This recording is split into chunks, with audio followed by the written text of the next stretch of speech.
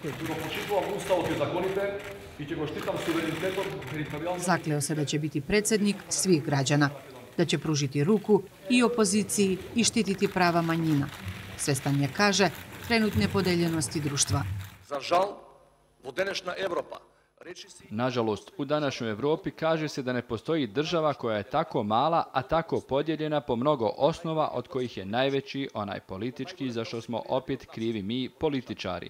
Želim u prvom predsjedničkom nastupu javno kazati i obavezati se da ću biti predsjednik svih podjednako i onih koji su glasali za mene i onih koji su glasali za protiv kandidate, ali i oni koji iz različitih razloga nisu izašli na izbore jer je to legitiman čin. Održavanje dobrosusedskih odnosa navodi kao jedan od prioriteta tokom mandata.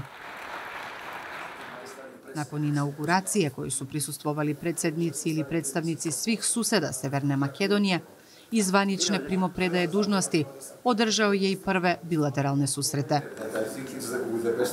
Radiće kaže na završetku procesa pristupanja NATO Savezu i otvaranju pregovora o pristupanju Evropskoj uniji. Za opoziciju izbor Pendarovskog opterećen je hipotekom i kreditom, podrške i deljenja političkih uverenja sa premijerom Zajevom. Ono što Ono što je bilo najvažnije za njegov izbor je kredit koji ima kod političara i stranaka koje sada očekuju da im on taj kredit vrati. Ali na kraju će ga vraćati političar s kojim se novi predsjednik u svemu slaže. U sljedećem periodu vidjet ćemo koje će to fakture stići na račun države, vlade i institucija.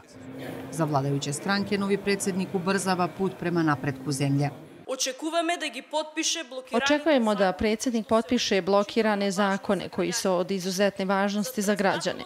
Iza Pendarovskog stali su građani svih etničkih zajednica i to je demokratska vrijednost koja jača zajedništvo i predstavlja našu multietničku zemlju. Je predstavuva našata multietnička zemlja. Gospodin od Pendarovski je naš kandidat. Pendarovski je naš kandidat i smatramo da smo odlučujući faktor u njegovoj pobjedi. Pendarovski je profesor međunarodne bezbednosti i spojne politike. Aktuelni je nacionalni koordinator za NATO. Bio je savjetnik dvojici predsjednika, Branku Crvenkovskom i Borisu Trajkovskom.